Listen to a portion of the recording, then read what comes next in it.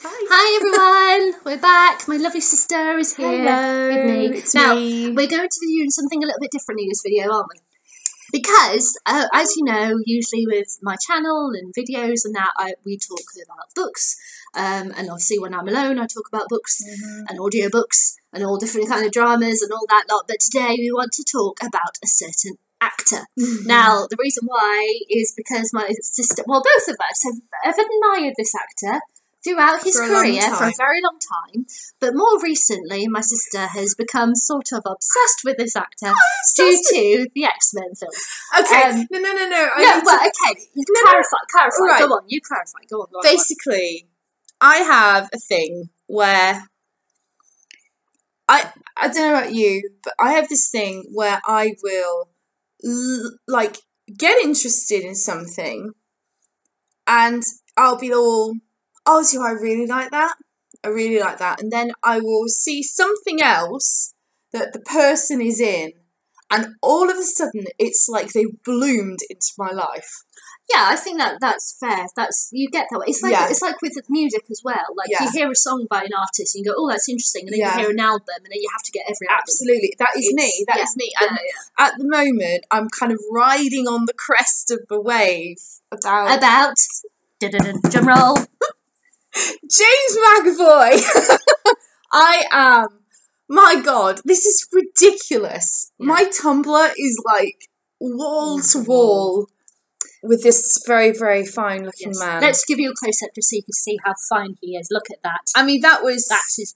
What? how long ago was that? Ten years Um, ago. I think it must be. 2006. It was ten years oh, ago. there. Exactly ten years I'm ago. about to celebrate my 10th wedding anniversary in Yes, three you weeks are. today. Yes, So, yeah. happy 10th wedding anniversary. Thank you. Um, but that was 10 years ago, and like a fine wine, He has. Mr. McAvoy has aged Yeah.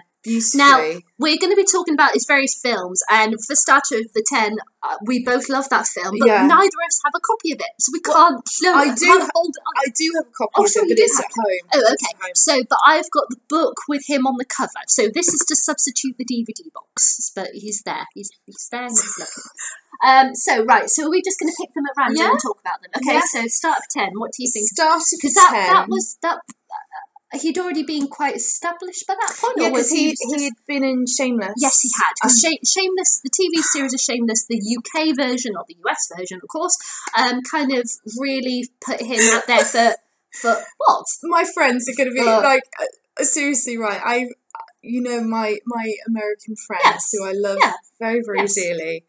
The last, um, I'm sure I've been driving them crazy because I've been like going, oh my god, you have to see this, you have to see that. Yeah. But Shameless, let's, yeah, that established his career. Yes, the, yeah, the UK version of Shameless, yeah. Um, and he he had been known for for a few roles, but this was the first thing that kind of threw him into Made it's kind of like- name. kind of like I know it's not exactly the same level, but kind of like Aidan Turner for Poldark. As Mm. Yeah. soon as it hit, everybody knew his name. Yeah.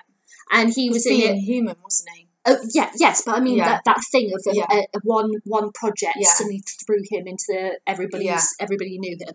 And the same thing happened with Shameless for James McAvoy. He was in it for two series, um, And, a Christmas special. and a Christmas special, yeah, between series one and 2 Mhm, Um, and then he left the show, mhm. and that was really because I think he was getting loads of film Yeah. offers, and he wanted to take that It's- forward. Uh, that it? So- happens a lot though. If you're in like a Yeah. successful TV series, Yeah. you get offers to do things, but you can't do things because of the TV series. yeah, and of course, yeah, yeah. But no, he got. um I think he actually probably got Starter for Ten. Yeah. Probably, I think so. Probably, well, probably during series two. Uh, but may- you would have thought because if Maybe not. Actually, well, if it was released in two thousand six, then it was probably filmed the year before. Maybe it? then. I So know. it, you know, but yeah, the Starter for Ten follows um, Brian, Brian. That was it. darling um, Brian, darling Brian, who um, his dad is dead and he's going to university. He's le- he's going um, away from home, um, and he is kind of obsessed with the university challenge. He is. And he joins the university challenge team at his school, and falls head over heels in love at first sight with one of the girls who is who is on it, Alice, Alice, um, who is such a bitch. She's this drop She's dead gorgeous girl who is shouldn't be there, and she admits that she should not be there, but because she looks the way that she looks, they accept her on the team, don't they? Yes. Um, but yeah, but it's all about his his finding himself, and, and he plays it beautifully. and coming to terms with the death of his father. Yes, that scene. That's There's a scene where he goes on a date with Alice, and he's in a restaurant, yeah. and he says, and Alice asks him about um, his parents, doesn't Yeah. he? And he says, "Oh, my dad died." Um, and all of a sudden, he just he's just Cries. talking, and he Mhm. starts crying, and he's like, he's actually sat there, and you can tell he's thinking, "What the hell are you doing? yeah. You can't be crying in front of the girl that you like Yeah. about your dead dad." And Mhm. the way he plays that scene is just it's so- isn't it? he makes him so vulnerable and adorable and yet you know that like Brian is really really suffering in Oh, that yeah. moment but yeah, but I mean it's a romantic comedy so it's not all dark and heavy that isn't what I mean no, no, but, but in that yeah, moment, it's in that moment he lets himself to a place that he may doesn't feel comfortable doesn't- being in with yeah. Alice at that Yeah. time but because he hasn't been there in a long time. beautiful about Starter for 10 as well is it's about his mum moving on and yes. about accepting that you can grieve and Yeah. you can move on yes, and you can also fuck up yes, pretty badly because he does on the regular and it's adorable and I love and I love his relationship with his friends as well Yes. from home and how they change. Dominic Cooper and James Corden Yes. who have both done very very History well for themselves Yeah. yes they how and they're very different and but James, uh, James Corden's character in the film later on in the book is very different Mhm. Um yeah then it's sorry, sorry Yeah. Mm-hmm. later on the film is different than who his character is in the book we'll Yeah. say that so Yeah. they have tweaked a few things but James is just absolutely amazing he is wonderful Brian wonderful and he really and he really brings this story to life Yeah. because you have to have whoever plays Brian because it's such an interesting story and a really so much fun I know this I love it you have I to be it. really vulnerable yet And sharp and you know there are moments in it that are buttock clenchingly embarrassing oh yes as well I think almost more in the book than in the film. Yeah. Because there were moments when I was reading this going, what are you doing? You silly boy. I, lo- I just I just love him getting ready for his date with Alice, Oh, and he does the, the strawberry face scrub, and he's rubbing his face like crazy, and then washes it off and looks in the mirror, and he looks like a lobster, and he doesn't Oh. understand why he looks like he a lobster. takes- Like you've rubbed half your face off, that's why. he takes so much care getting ready and he looks lovely in his Oh. tuxedo and he's, he's just lovely. But he meets this other girl called Rebecca. Rebecca, the he the Jewish girl, The Jewish girl that he, he decides when he meets her he's going to list all the Jewish, Jewish people, people that that he knows, really likes. and people that he knows. It keeps on saying shalom, Yeah. and they go to this tarts and vicars party. tarts and bitches. That's, And he that's what he means. That's That's right. what he means. And he's doing that awkward little yeah, little dance, dance that he does It's so funny. But Yeah. anyway, it is it is so such a beautiful film and a Yeah. beautiful book, and James does does. and I love so even well. it's like set in what the eighties, isn't it? 85, 85, it feels so modern. well, because it's but in regards to how no matter what decade you know you go to university or you're that age in, yeah. you have these same feelings, these mm. same thought. You know, it's really I really like But- that.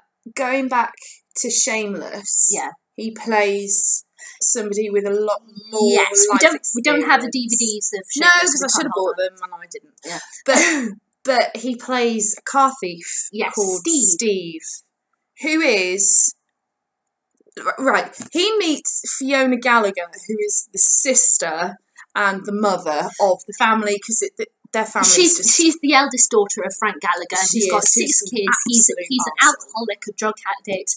He's on um he's on benefits. They literally survive off benefits and They do. and everything any and kind Fiona of spare jobs. to take Fiona- up the slack yeah, she Fiona has- Yeah, well, I think I think it was earlier than that, wasn't it? When her, No, when her mum six, no, no, no, no. She says she was sixteen and Oh, she okay. had four kids to raise. Oh, I thought she I thought she was she was a bit younger than that. Anyway, um, and she's basically yeah, she's raised all of them Mhm, on nothing. mhm.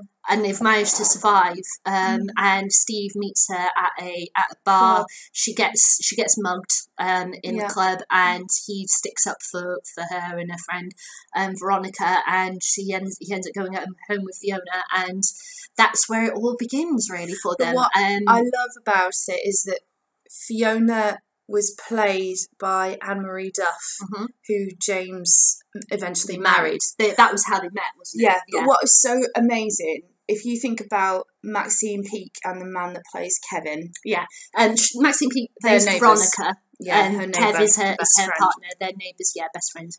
They Yeah. clearly got on. Yeah. James McAvoy and Anne Marie You can see. Fall- You can see them falling in Oh, yeah. love. It's more They have- they- chemistry. Like It's how like- he, how he just like how they like stand together, like when she's like at a sink or something, Yeah. and hugs her from Yeah. behind. Just little it's things. just natural. It's yeah, and I think and I think that also not that I'm saying that the two of them together, if if they they, they hadn't fallen in love, Mhm. wouldn't have that same kind Yeah. of relationship. But you can you because you have that feel yeah, when they have these arguments and these bad times that happen, if you really feel it more, and I think Mm. it makes that scene um, um, bit little minor spoiler um, where they have to be separated. Yeah. That scene, and they are both on the floor, and they Crying. are crying, and they're screaming, and she wants she wants to go with him, but she can't leave the kids behind because she knows what's going to happen yeah. and she's in this dilemma what do I do what do I don't And do he- the kids are going to go but now they're not going to go so what are we going to do and Because he has to go that's the only option. it's there's Yeah. no option and it's that scream that she does when Yeah. he leaves it's But just What what was so amazing about that scene because I'd seen it out of context Yeah. and I I loved their acting when I saw it in context and I realized that Steve was literally the only person in Fiona's life who was Yeah. there for her. Yeah. His number one priority was her, yeah which is why he was always at their house. He helped out with the children. he He bought paid, food, yeah, he, did paid so mortgage much fixed the wa- washing yeah, machine for them Yeah. because he loved her. Yeah. And he saw himself as a part of the family. And that's by the end of episode one. Yeah.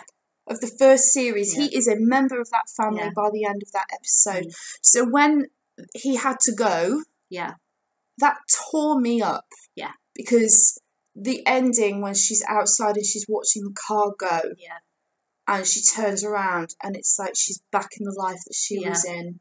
and Veronica And he's takes gone. her inside and she Yeah. said come on we've got to go. Yeah. Yeah. But Shameless was I mean the the point is is eventually he came back and and they left together. yeah Um it was very abrupt but Shameless literally went like Shame, shame. Yeah, that that that that. But there was also things of you know writing and Yeah, how yeah, yeah. you know the Yeah. Paul who created it left. But that's another story. But for James McAvoy, it was Yeah. like because Shameless was a phenomenal it was hit. huge here. It I don't was- think they expected it No, to be either. It was, and, and it only had like six episodes. I think the first series or something like that. it's It had- really nothing. it's a really short and it was obviously series. made on a shoestring Yeah. as well. Especially you you could can tell. tell Yeah. series one and two. You Yeah. can tell. God, Um, but yeah, it it, he- it just his work on that was amazing. It was. It was Absolutely incredible. beautiful. I mean, that, Um, the moment in the last episode of season one where do you remember the policeman Tony, Tony, has yeah. undermined her confidence in oh him, yes, and she says to him, "Why are you here?" yeah, And he says, "Because I love you." Yeah. And she says, "Do you love me or do you love my family?" Yeah.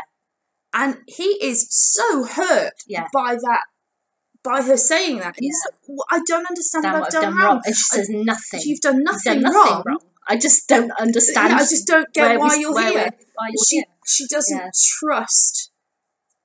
It's not she doesn't trust him. She doesn't trust how happy she feels because she's been Yeah. shit on But I love, life. I love how that scene opens. The fact that she, that he comes in and and he's like, "Where's Liam?" And she went, Mhm. "Oh, he's up in his room." And he goes, "No, Liam always Liam sleeps sleeps with a light night, It's how well he knows. Yeah. them. yeah, and there's no light on upstairs. So where is he?" yeah. You know, it's like the fact that, and that's like five episodes Yeah. into the series. He knows You're like, that family "What?" so well. Yeah. And the episode when he helps um, Debbie bring the Oh. baby back to the party the without the it being baby that like you've kind of kidnapped but not.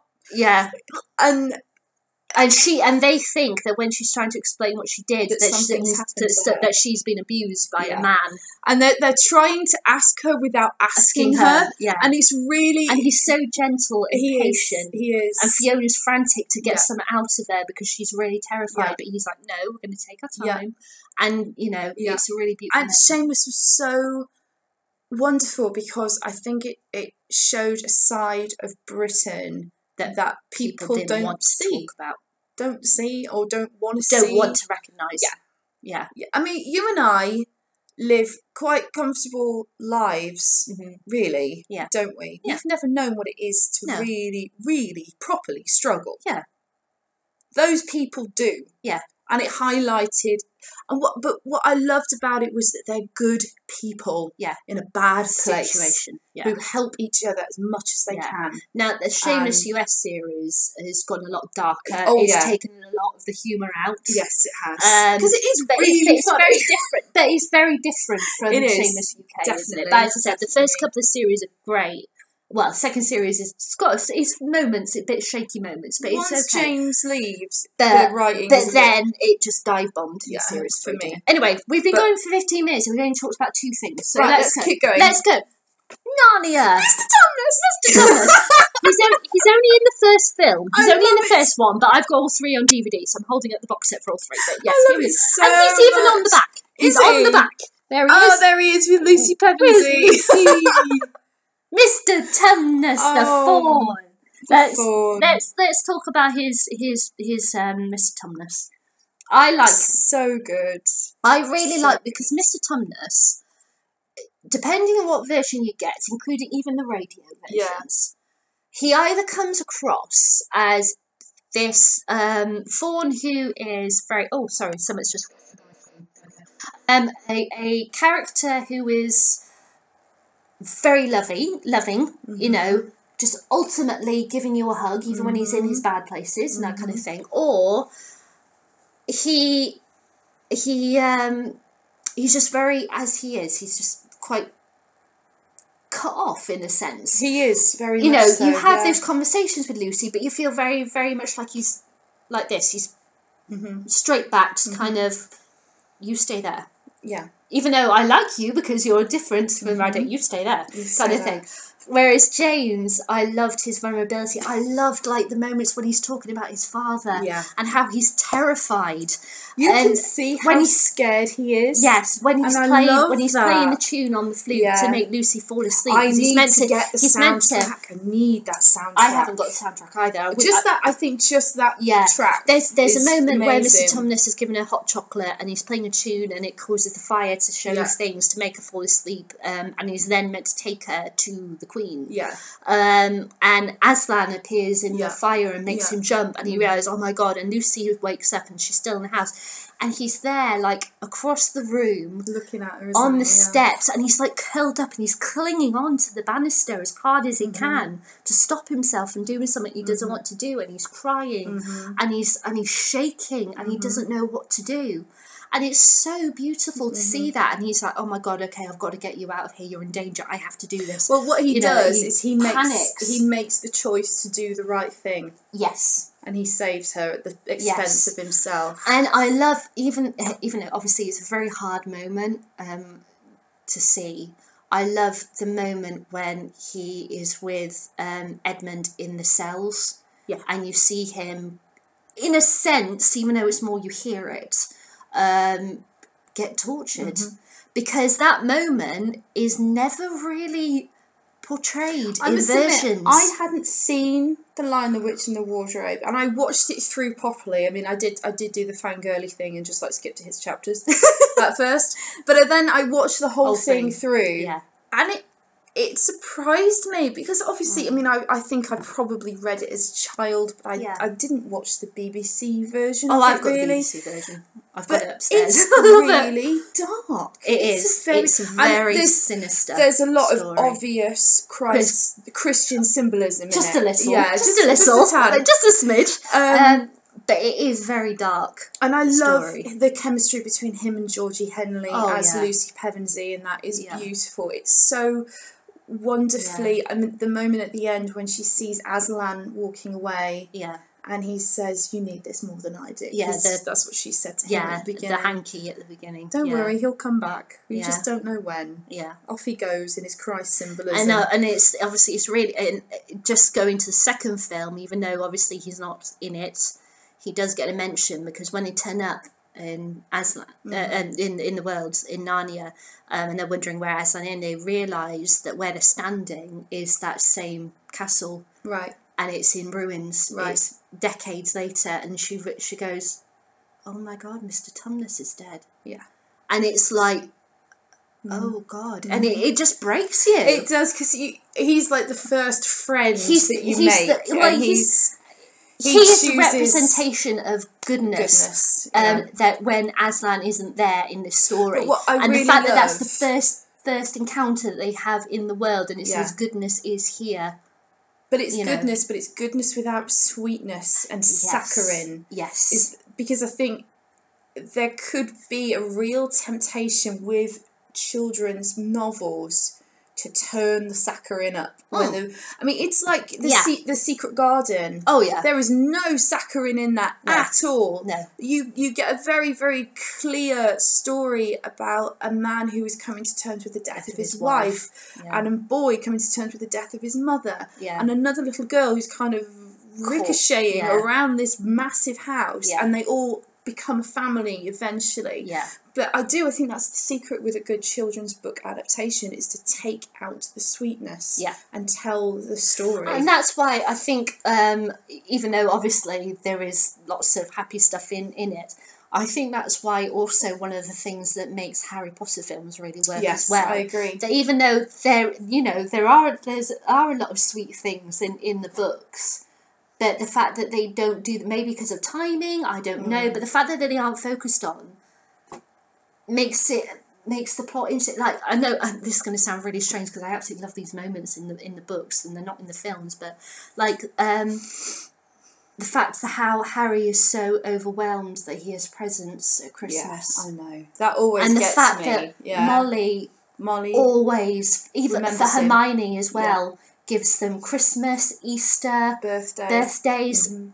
whatever. She always makes the jumpers for him, Mhm. and it's just like that is so beautiful. But Yeah. they don't do that in the, No, the films because they but- don't have time. because they don't have time. But as you said, if you take the sweetness out, Yeah.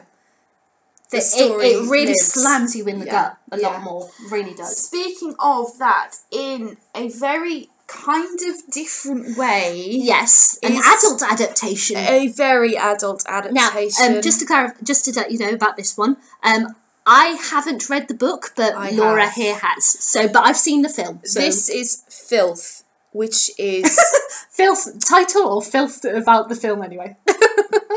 kind of both. this is an adaptation of Irvine Welsh's amazing novel. Um, and it says on the box, McAvoy gives the performance of his career. Uh, at the moment, yes, but wait until Split comes out and then we'll Yes. talk. Then we'll talk. Yes, yeah.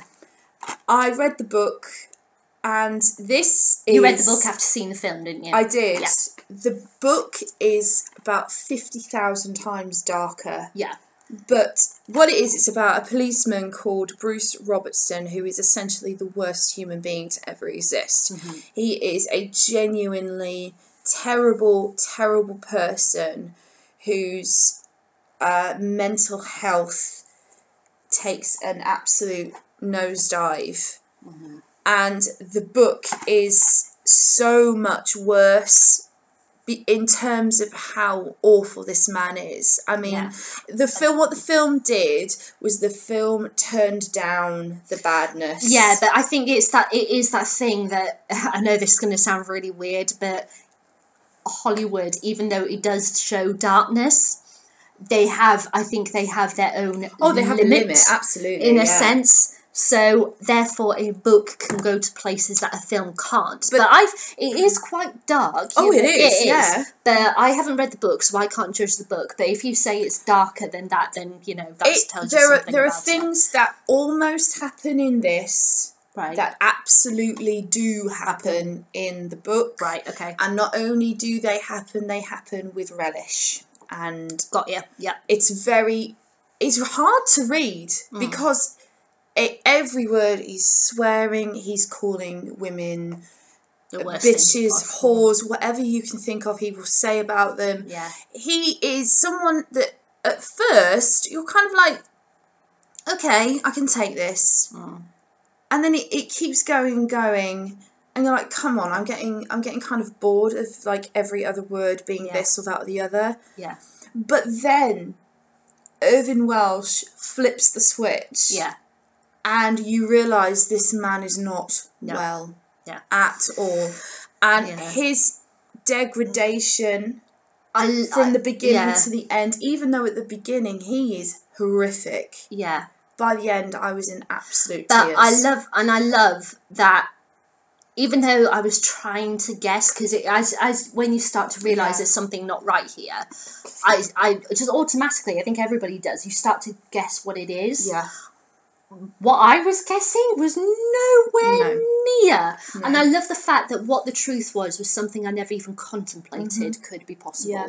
and it was possible. yeah. But the ending, So- the ending of the Yeah. film, you didn't see The, it coming. oh did you? god, the ending had me. I was because what it was. Laura had watched the film, going through her McAvoy, you know, Madness. phase. Like literally, said- I, I ordered his entire filmography and watched the lot in like two days. It was still like back to back McAvoy. It. Um, she said, she said you've got to see this film, and we met up, didn't we? Not long after um, after that. So I got filth, Mm-hmm. Yeah, you and. I watched it that same day. yeah, And I rang you afterwards, Yeah. Mm-hmm. didn't I? And I was like, oh, "What the hell? What is that for? It was amazing." Because I couldn't, I didn't get a chance to see it at the cinema because the cinema where I am, they had it on for about a week, and Yeah. every showing was like ten o'clock in the evening. because because you know you couldn't you couldn't risk somebody accidentally should going not into see the screen. film. Yeah, yeah, Yeah. So, um, but yeah, I I absolutely loved it. I thought it was great. I thought he was he was He's phenomenal. he went to places I've never seen him act before. No, you know, no. I mean the No. scene. Um, the This- scene where he's on the phone and watching Oh. the video.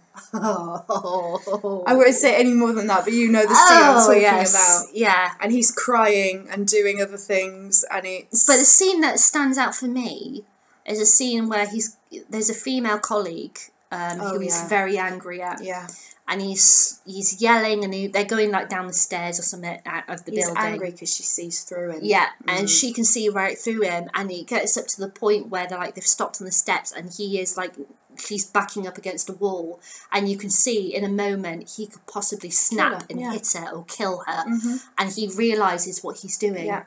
And he just, it's kind of like he takes a couple of steps back and he's like, his eyes widen. He's like, oh my God, what am I doing? Mhm. He can't, he doesn't, he did, he couldn't It's see. almost like for that moment, and Yeah. then he he tells her what he tells her, yeah, and then it comes back a bit. It's like his mental illness has switched off, yeah, and you see him, you Yeah. see the man he was, yeah, before and then it switches on again, Yeah. and it's it's it's just extraordinary. It's Yeah. amazing. So let's talk about another book adaptation. it's an adaptation of a book, and we both don't like the book, hate the book. but we love the film.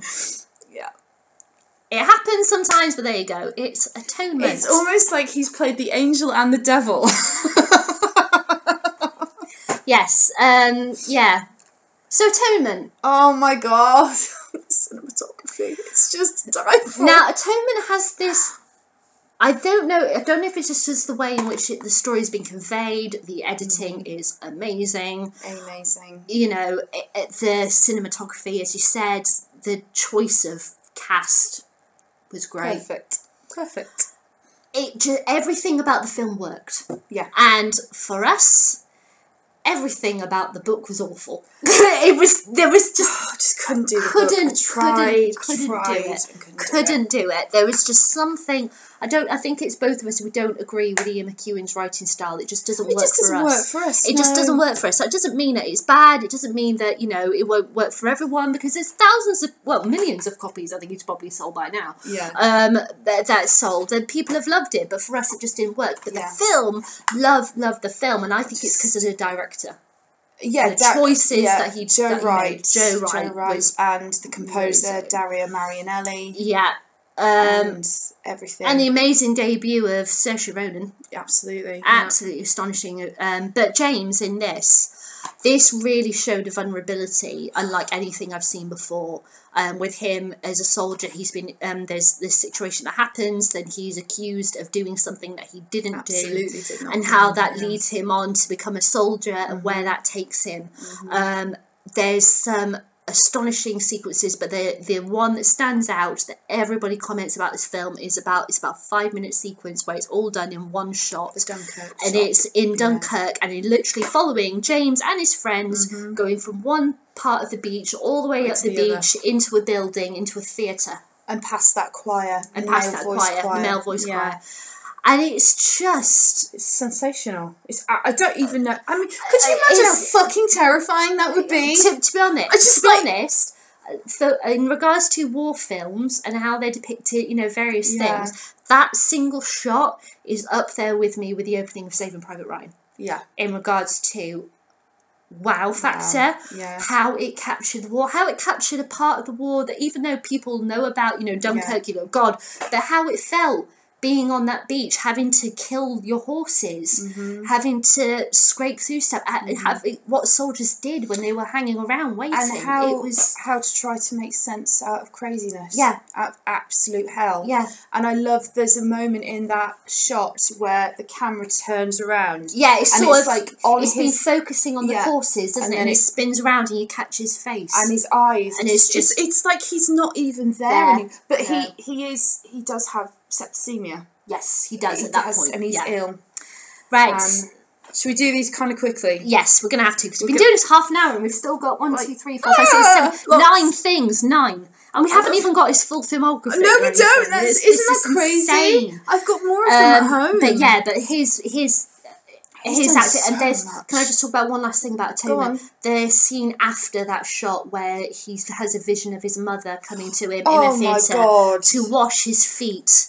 It's That Can we talk about Christian imagery? oh, just, right a now? little, just a little. Um, but The, the camera. I don't. oh, that I don't know how he that, did it. that they put on it, Yeah. and it's it's all like fuzzy, and like the war's going on around him, and his Yeah. mother's there, and there's that, and he's like behind the screen, so there you see this production of this film, this love scene going on Yeah. behind him, and you're like, so you can't really tell what's going on. It's it's it- fabulous. But it's like I I think Atonement Mm. with the Hunger Games in a slightly different genre. I think those are going to be films that in thirty years' time people will say that's a classic Oh, of yeah. that time. oh yeah, That that Yeah. will be a film that yeah. people will look back on in fifty and I love years. and to to say about the score. Oh, one particular Jesus. thing is that obviously um, it's a writer that one one of the main, characters becomes a writer, and all of the music is like the tapping of keys Mm-hmm. Yeah. on old Old old, typewriters, typewriters. How they yeah. made that clunk.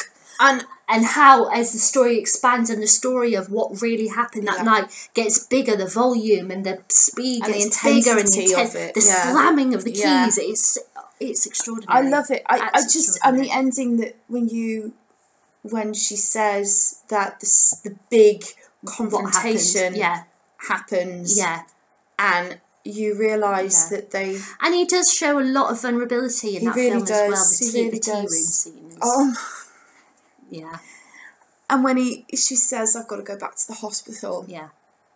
And he breaks and it's like Jesus you poor man. Yeah you have suffered so much because of something that a little that, girl that a little girl said it was it was just it's she, amazing she saw something and didn't know what she was seeing and said what she said But there there is there is a a limit yeah to my sympathy for Bryony. yeah Massive limit. well yeah you know yeah. Yeah. But anyway. right, let's get on to the next one. Right, this is one that I watched after Laura here has Mm-hmm. watched his filmography. Uh, and I'd seen bits of it before, but not in full. And I sat and watched it, and I think I was completely traumatized.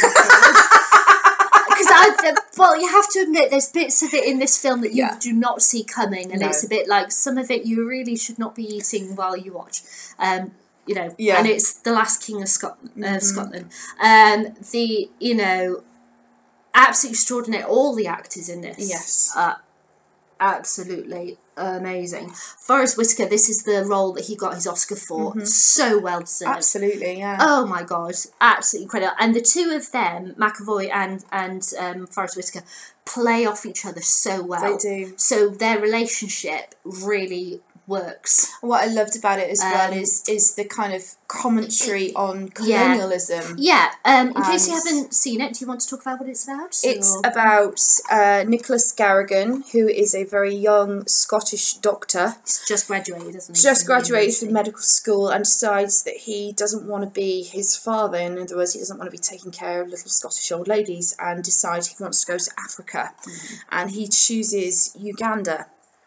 Um, and he goes there, and he's really bored, and Well, He's- I don't think I wouldn't say he's necessarily bored. He see, he sees he sees you know he helps a lot of Yeah. people out, but it's there's it's a very it's a shift for him, a very interesting But shift. he ends up being Um, Idi Amin's doctor, who was the uh, dictator of Uganda in the 1970s. Yeah, And he makes some horrific decisions, make some awful mistakes, Yeah. and all of it is rooted in his own selfishness. yeah, And, and, I think it's also that thing. I don't know if it's just because he's a young guy, therefore Yeah. he doesn't understand the world that he's in. That he feels very strongly that this man, this dictator, is the perfect person to rule over Kenya and all that lot. And it's Uganda. like, uh, sorry, Uganda. Sorry, wrong, wrong, wrong, wrong place. Um, um, how um. Yeah, he feels that he's the right person, and he has that scene, doesn't he? He speaks with somebody, and he goes, "Oh, hang on, don't you realise what you know?" yeah. and he gets really angry and then it's like and then as time goes on he grows up and he Yeah, he realizes really does. oh my, My god, God. what have i done I'm in a horrible Yeah. position, Yeah. and it's all my fault. yeah and So- he he is it, I mean it's an extraordinary performance because I don't want to spoil the ending do that but yeah uh, yeah, yeah let's do that sorry i've just got the dvds and my lap just ordering them. But no it's amazing and there's there is Kerry Washington yeah the amazing Kerry washington. Idi Amin's wife Yeah. Kay and it's oh, it's, got, it's just fabulous it's just amazing. It's and Gillian Anderson's in it? Isn't she? Yes Gillian Anderson is Yeah. also in it too and she's awesome as ever. Now let's turn over to a period drama that's a very very sweet period drama that I know Laura loves I and love- I love too I love but Laura's got a special special love for I it. do and that is becoming Jane. Jane. All about Jane Austen and how she kind of started off with her writing and it's a bit of a um, fanfic but we love it It kind of is. okay, Yes, kind, it is. kind of is, kind of is, but it has you know has various truths to it, and There are there are factual bits in it. Yes. but I don't but. I, I really like it. Um, and yeah, so Anne Hathaway plays Jane, of course, um, and her parents are yeah Julie Walters and James Crom- uh, Cromwell. That's it. Sorry, I can't Yeah. remember his surname. Um, and basically, she met um, a man called Tom Lef- Lefroy, Lefroy. um, and he.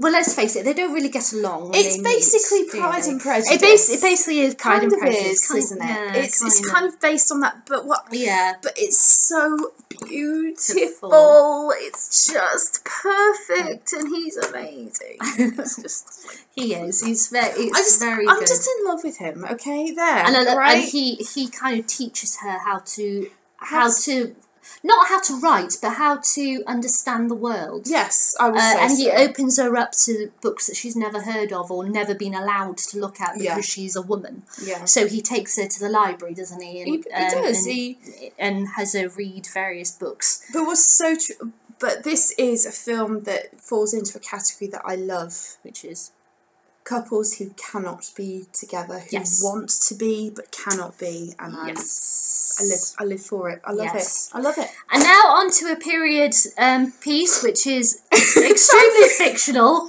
in which James plays an absolute psycho. It's awesome. It's Victor Frankenstein. Um, right, I saw this when it came out of the cinema. I quite liked it, but as a fan of Frankenstein, It's got nothing to do with Mary Shelley. uh, really nothing. It's it's kind of Frankenstein when he's first starting off, but then you could argue that is Mary Shelley because obviously we follow Victor going to university and that, and this is Victor at university meeting Igor. But it's not nothing to do with No, Mary Shelley's it's work. got nothing so, do with it. because I went in thinking, oh, there's got to be some association, right? Nope. Right? Right? no, there isn't. Not even the way it finishes This- has any iota. this Apart from when he goes, someday I may have to call on you again to start up my experiments. Dot dot dot. It's like that's the only kind of link to it. This this movie It's- was made for Tumblr.com. Yes, it was. It's so slashy. I just I love it so much. The scene where where he gets rid of Daniel Radcliffe's fluid sack on his Oh yes. You haven't got a hunch. You've got a great big abscess. Let's just, So, just get I'm the pus out of it, and I'm then it'll be all fine. around and forcefully put a brace on your back. It's like it's perfect. I love Victor Aw. Frankenstein. It's so funny Yeah. and so. But there's moments of real, like when he sees Oh, the, the, cre- monster, the the creature. and the whole related back to what happened His to his brother. brother. It was it, there are moments in yeah. it where it's it's awesome. and Daniel It's Radcliffe really plays off against him He does. well. They've got really good chemistry good together. chemistry. Yeah, this one next. Okay, then on to a more modern one, which I saw at the cinema. I've only seen it the once, but it's done at the cinema. And I came out thinking, well, that was interesting. Not that I'm saying it was bad. It wasn't bad. It wasn't It's bad. It's bad. just bizarre. odd. It's really Uh, you kind of have to. I think I'm gonna have to watch it again. I've watched yeah. it three more times since I watched it the first time, and I'm still clueless. and it's Trance. Trance. Danny Boyle's Trance. Um, now this follows a guy. I can't remember his his character's name. Simon. Sorry, Simon. Um, and he works at a, an art dealer's basically. Um, you know, auction house, Yeah. and it's all about a piece of art that goes missing, um, and um, because he's involved with stealing art and Yeah, uh, what happened to it, where's it gone, and being hypnotized and doing stuff that you against your will, and to him, and he keeps on having flashes of scenes of things of things that he could have done, but were they imaginary or was it? What's the link? What's yeah. so you've so got it's all in your head. Yeah, And when you find out the truth, it's a bit like, oh god. But then you, but then I kept on thinking, um, like, hang on, that doesn't quite. I can't connect those dots. So Yeah. there's still a lot of stuff going around. So this is why I think I'd have to watch it again just to make absolutely clear I understand it. yeah. But the whole trigger of what the truth becomes was a bit like, It was. It was. I was watching it, and I'm That's watching this choice. really interesting, odd film, and then they revealed that, and I was like, yeah, "This was written by a man." yeah, Clearly, this was written by a man. I was like, for real, really, but I actually really enjoy it as a as a cinema experience. The cinematography is beautiful Yeah. in it. It's really sharp, bold yeah, colour. it's gorgeous. a lot of bold. Makes yeah, no sense. yeah, but no, it's no, great. No, no, no. Anyway, go on. Right, we're going to go over to James very, very early in his career. I haven't seen this yet. I'm and desperate he's so to see cute this. it. he's so baby faced. I love him. It's Lorna Doone. Lorna Doone. Lorna Doone. Um, Can I borrow that? yeah, sure. Yeah. Um, so it's based on the book by R.D. Blackmore. Um, and it's basically about these two um, characters, Lorna, who's there, and Jim. Jim. Is Um, it Scottish? It is, yeah. isn't it? Yeah. It's Lorna Doone, isn't it? Lorna Doone. It's out there front. Um, and basically, the two of them met when they were like teenagers. Um, uh, uh, they they come from the opposite sides, basically, of these two families, these two warring families, kind of a Romeo and Juliet sort of thing. Oh, I've read through a bit of Uh, the thing from and- Richard Coyle. and they no, that's not. Um, and they met uh, and they kind of started falling for each other and then they sort of separated and then many many years later at the same location they bump into each other oh, again. excellent. I can't wait. I and it's all all about stuff. them falling for each other and the warring families and the clans Oh my god. it's the clans that, I'm that definitely borrowing it. Um, and James plays a sergeant who is in the area. He's very he's new to he's he's like 18, 19. Oh. He's really baby faced. He's got hair down to here. Like literally, he's got his hair tied Ah, back, a long wait. ponytail. And he is in he basically falls for Jim's sister, who's played Joanna, what's her name, who's Anna in Downton Abbey? Oh, Frogget. Froggatt, Joanne that's it. Froggatt. Joanne Froggatt plays Jim's sister, who he falls in love with, and She's it's this thing. Yes, she She's is. in filth. Yes, is. She's Oh, in filth. There yes.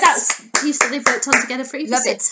Um, and um, he basically falls for it, but he's so shy um, around her. He Oh doesn't God, really know what to Boys. say. It's a really So he starts helping out at the farm in order to so he can get the courage to speak to her Oh and God. become Jim's best friend. And it's just so sweet. He's so sweet. He's Oh. not in it very often, um, very much because he's a secondary character. I don't care. He's, he's in it all the way up to the end. He's in the end scene and everything. Oh, so he's- he's excellent. through to the end. So, Fantastic. yeah. We've got to watch So, that then. yeah. Right, Um, let's. Right, this next one I've not seen.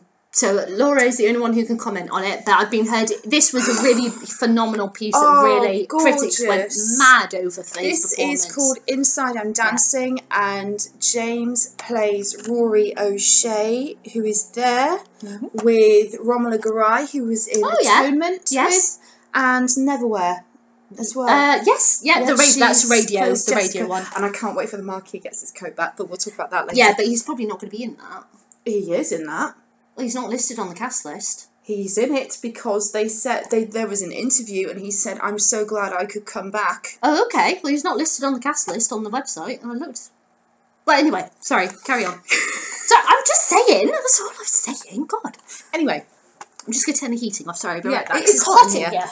Um, anyway, he plays Rory O'Shea, who is a gentleman who has something called Duchenne muscular dystrophy, and he is being he's sent to live in a place called Carrigmore House, which is a place for uh, people with um, serious physical disabilities to live, and he meets a man called Michael who has who. Uh, I think also has muscular dystrophy, but it, or is Who it plays actually no? Is it cerebral palsy? I think he has.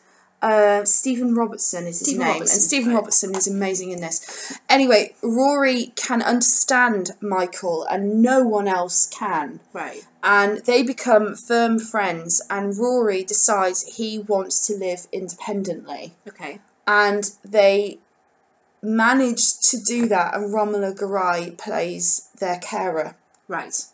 and it is absolutely beautiful because Rory is a whole person without his disability. Yeah. He's funny, he's cheeky, he's sweet, he's smart as hell. He's an absolutely brilliant character and James really plays his his frustration and mm. his it's just beautiful. It's really really gorgeous Yeah. and uh, perhaps we'll we'll see that at some point. But beautiful.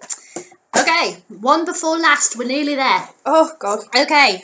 Now we're going this will be over to something. one, you know. Well, you know, it's the way it is. We've got a lot to talk about. We do. Um, yeah, one before last phase. So now we're going to move over to BBC TV, the thing that they did years ago to celebrate ago. Shakespeare, uh, and it was Shakespeare Retold, where they took basically stories of Shakespeare and did like a modern retelling, not in this, not in the language of Shakespeare. Mm-hmm. It was other. And James, he's right there. He played Macbeth versus uh, uh, Keeley Hawes, who played Lady Macbeth, and Richard Armitage. Yeah. As Macduff. As Macduff. Um, and that this was a very interesting piece because it was three three stories. Uh, uh, sorry, four stories because they did uh, Midsummer Night's Dream, Much Too About Nothing, Macbeth, and Taming of the Shrew. And Taming of the Shrew and Macbeth were the best of the series by far. Oh God, no! I But- I almost wish they'd done another tragedy rather than three Yeah. comedies and a tragedy. Yeah, but true. Um, but the but Macbeth was very, very good, and I love the modern twist is that it was set in a restaurant where he Mm-hmm. he was a chef. Um, and there was he was he was a sous chef and he didn't like being a sous chef he wanted to be the head chef and three um uh, um Binman. they were bin men yes Yeah. sorry the word fell out of my head just then um they came and told him what they what they saw Yeah. because they were the witches basically Yeah. um, and said, you know, this, that, and the other, and it was all about how they killed the um, the head chef Mm-hmm. in order to get the restaurant Yeah. and get what they wanted. Keeley Hawes is is she's all right in it. She I didn't don't think she's quite bad enough. no, so that's even though she did very very well with the with losing going insane. Yeah, I loved did. I, I loved the scene bit. where you knew because she was doing a lipstick Yeah, and her hands like- were shaking and then she went and smudged all over And her it's- face and she's, she's it was it was bit. amazing but because she wasn't that dark at the beginning it didn't quite feel right No. um but she's still good it's still good but james is amazing He is. The And I- ending where he's like, landing my head. Yeah, he he, he, see, he see, keeps on seeing pigs, doesn't he? He says. Yeah, Because his whole thing of dissecting, dice, and because well, they show a bit where he's chopping He's up chopping up a pig's head. pig's yeah. head, and he keeps seeing them, doesn't he? Yeah. And, and he, his hand shakes. They're flying above my head like this, and you're thinking, "Oh God, that knife is going to go in. That knife is Yeah. going to go into his head in a second. Yeah. He's just yeah, he completely Yeah, the it. meaning of pigs might fly. P- yeah, Yeah. yeah, that's so clever. Yeah. Using, deciding to do a pig. Yeah. and like this. Oh god, the bits like when he he always has this thing where he has to drink um, Milk. milk from a glass But bottle. you are full of the milk of human kindness. yeah, I, that hit he, me when I watched and when it he last. drinks it. And he brings that and there's blood because it, it's cut. the glass yeah. has cut all of his mouth, and he drops it, and he realizes it's all in his mind. Mhm. That's sensational. The I way he reacts to that. And when is- Ella's in the shower and she's showering in blood. the blood, yeah, he's watching blood, her in the yeah. shower. That was awesome. But yeah, Yeah. anyway, this is like 50 Right. minutes and we haven't done the best one. This is why we've saved it till last. Okay, here we go. So the number one role that we love James in is the X Men Charles Xavier. Charles Xavier is my baby. He's amazing. And I will fight anyone who doesn't say that. Yeah. Just, I love So him. there- love there's James. Charles Xavier. There's Char- young Like- Charles Xavier and young Magneto. hmm Um, Mr. Played by Mr. Mike Fassbender, and they, the two of them, it's so clear that they, they just, They love each other. they're really good friends. They're- They, you yeah. know, they're- Michael no- and James are good Yeah, friends. that's what. Yeah, that's what. I, that's what I was talking about. That- Charles yeah. and Eric love each other. Yeah, I'm pretty sure they do. Um, They're in love. you can tell how well they get along because it's like when you watch Ian, Ian McKellen and and and, um, And uh, um, Patrick Stewart. yeah. You can just see it, Yeah. even when they're sat there playing chess Yeah. and they're just having this conversation with a few lines. Yeah. You can see it, and it's the same with these two. They're they're absolutely fantastic, But- and you need that in order to make it so believable for the younger version of themselves. and the pain that they oh. both go Oh, through. yeah. I mean, it's it's when is it? It's a week on Monday that Apocalypse comes out on yes, Blu-ray at last. Yay! I was so disappointed because I thought we were getting it at the same time as America. Yeah, but that no, doesn't we have to wait another happen. month. We're, you know, in the UK, it's we have to wait a month. uh, It's ridiculous. After. It's not fair. But I mean, there are moments in First Class which I love. I mean, the coin scene is Mm. just pain is real. yeah, The pain is real. but even uh, you know, not looking at scenes of that kind of Intensity. intensity, I love moments where um, you know he's just talking to various characters, and I Mhm. especially love. There's that moment where they meet. Um, oh God, his character's name just completely falling out my head. Um, him, the guy Hank. Hank. When he meets Hank, and he knows instantly what Hank's Hank is. yeah. what Hank is, what what his um ability kind of, Yeah. and he just says it, you know, asks him a question, and then he realizes the guy who stood next to him had absolutely no idea, and he feels Terrible. awful. Yeah. He's like, "Oh my I god, I I'm think- so sorry." For I what think I've what I. I love about him though is that Charles is not perfect.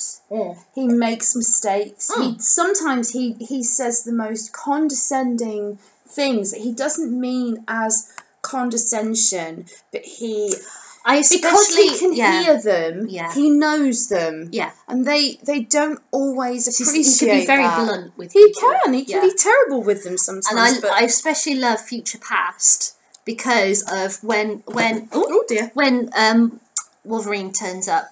Um, yeah, and he's a mess. and he, yeah, J- and Xavier, uh, Charles Xavier's an absolute mess, and he's you know with whole taking his medication and all Yeah. that lot, and Yeah. how ill. he's really ill and he's he's all completely messed up.